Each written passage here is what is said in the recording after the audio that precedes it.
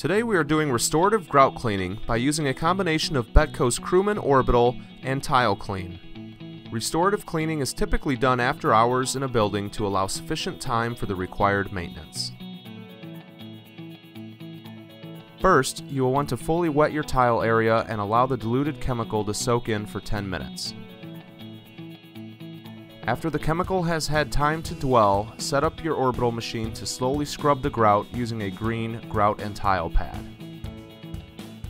Now, vacuum up the dirty water. This can be done with a small automatic scrubber or a wet vac.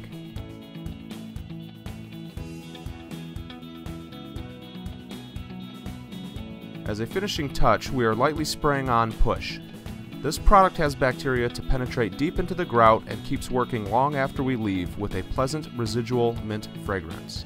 For a more dramatic effect, use one of our five deodorizers, all of which contain Nutribond technology to chemically bond and neutralize malodor particles, leaving a long-lasting, pleasant fragrance.